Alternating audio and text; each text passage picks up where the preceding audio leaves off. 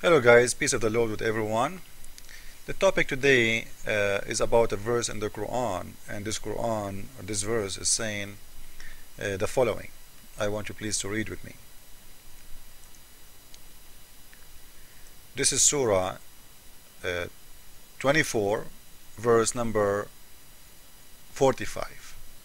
And Allah has created every animal from water of them they are some that creep on their bellies, some that walk on two legs, and some that walk on four. now, he is saying simply and clearly every animal and this is Islamic translation again because I know Muslims will say oh this is wrong translation blah blah blah. I know you know. This is your official government website the, the government of Saudi Arabia the Ministry of Islam and Guidance. From there you can get a visa to go and do Hajj. So this is official government website. It's not a kid site. So every animal, either he walk by two legs or four legs or he walk by creeping in his belly. Now is that correct? Is that correct?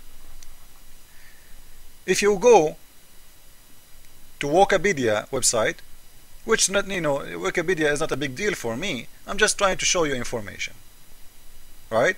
You can get your your uh, your own uh, search in any anywhere you want, you know, library, whatever. If you go to Wikipedia, this is all is listed as animals. This all, do you see it? This is what the word animal mean. It can be insect, it can be a tiger or a lion or a donkey or a dog or even a human.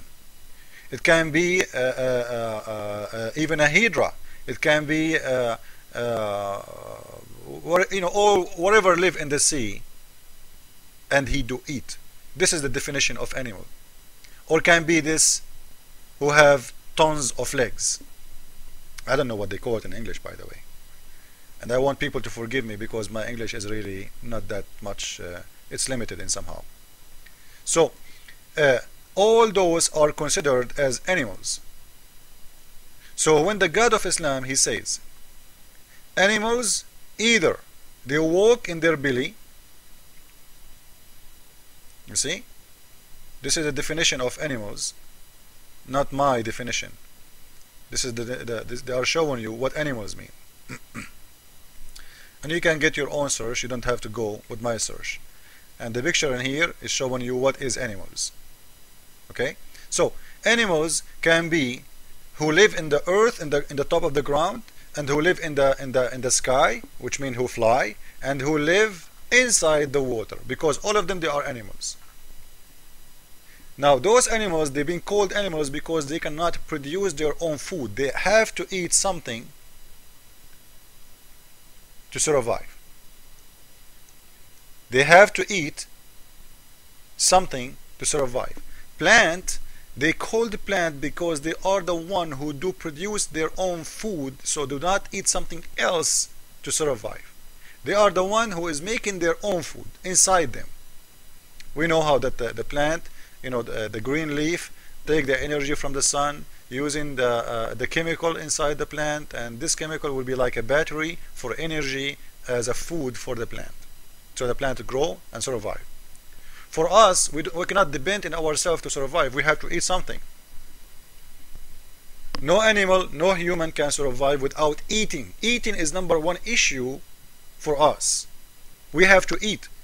Plant don't eat. So all of those, all of those, they are considered as a plant. Now the God of Islam, he's saying all those plants, either they walk in their belly or two legs or four legs. Is that correct? Do this one have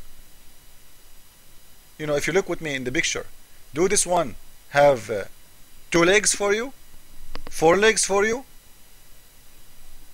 or maybe 44 maybe more? Some insect they have a huge number of legs I don't know how many. But if you count with me you will see what I'm talking about. So either two or three two or four or in their belly. Well this one doesn't have two doesn't have four have many legs and maybe somebody will say it's moving in their in their belly Uh, no, they are not moving in their belly. They are using their legs. The belly is not the one is causing them to use. They are not creeping. Because the Quran is saying creeping is hafun. So, and this one, this one, how many legs have? Look with me. One, two, three from this side, which means six legs. But the God, he said, either two or four. What about this one? What about this one?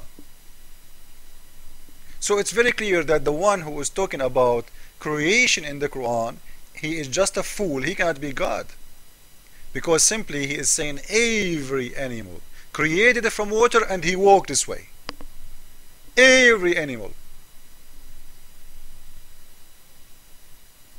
So I hope this is very clear for you guys and you learned about something new today.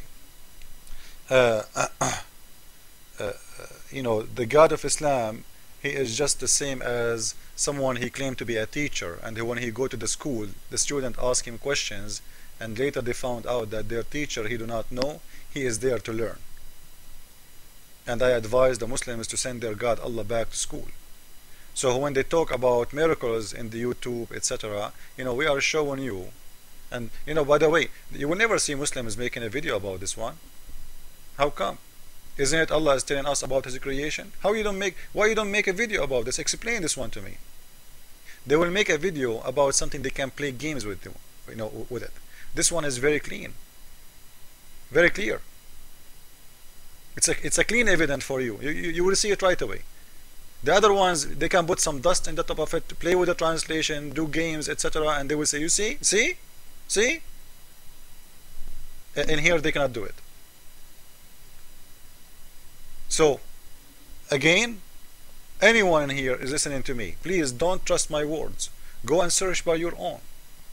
I don't want you to be the same as those, those Muslims who they are brainwashed. Somebody say to say you know something to them and they say, "Wow, Allahu Akbar, Allahu Akbar." No, don't do that. Don't be fool. We are not Muslims. We are Christians and we are allowed to question everything.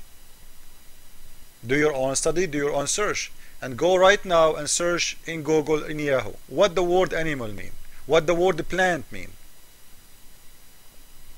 And by the way, before I forgot, there is there is some kind of animals they don't they don't walk at all.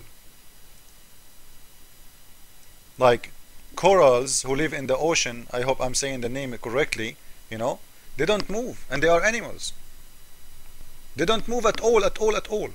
They are fixed with the rocks as a plant. They look like a plant, but they are not a plant.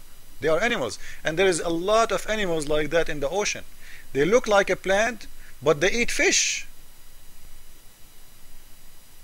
Actually, there is a plant who live in the top of the ground, not only in the water, who eat insect, which they are, because they are animals, they are not a plant. They look like a plant. They eat. You know, the second you will see a plant do eat, it's mean this plant is not a plant anymore. It's a it's an animal. So you will see a plant is hunting. I don't know if you saw that in Discovery channels or any. You know, you will see an insect is stopping in the top of the uh, plant, look like a plant, look like a rose. You know, and right away that plant will hold that insect inside and will eat it. Because simply it is not a plant. It is an animal. He looked like a plant. And scientists they, they, they, they divine between plant and animals not only by the way they eat, you know, because you know we said animals don't uh, uh, animals do eat, plants don't eat. Not only that, the cells is different.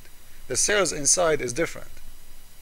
And you know you can read about that by, you by yourself, and you can you can search more. So now it's very clear that the one who made the surah in the Quran cannot be God, and this is a very huge mistake to say that all animals walk or, or uh, even by their uh, by their belly or two legs or four legs. This is a mistake in the Quran and we will show you more and more is coming.